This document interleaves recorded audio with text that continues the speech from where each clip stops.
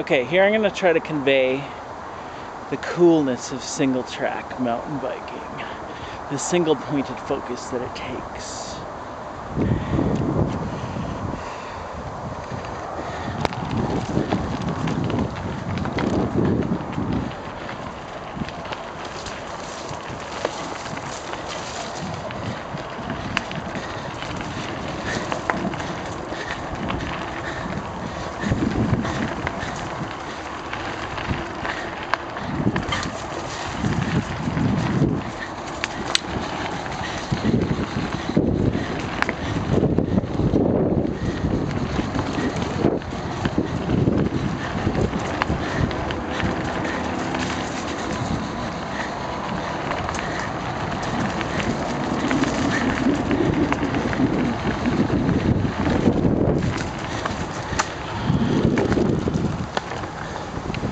So, I don't know. To do it,